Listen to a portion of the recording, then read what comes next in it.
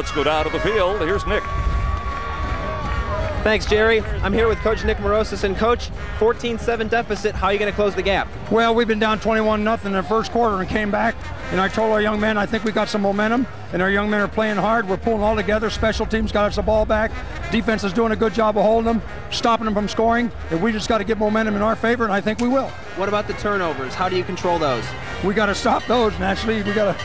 I think that was going in our favor because we got a fumble from them.